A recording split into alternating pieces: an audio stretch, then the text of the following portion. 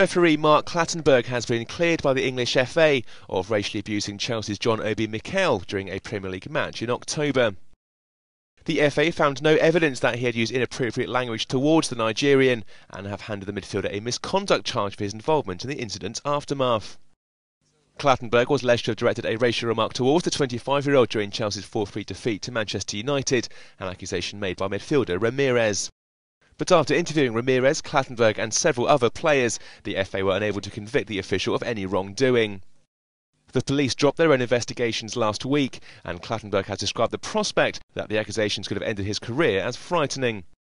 Clattenburg has not officiated a match since the incident. The 41 year old is considering taking legal action against Chelsea, while the referees union Prospect have demanded an apology and a donation to an anti racism charity from the club. Following the game at Stamford Bridge, Mikel joined Blues players and staff in confronting Clattenburg in the match officials' dressing room. He was found to have used threatening and or abusive behaviour and has until November 30th to respond to the charge.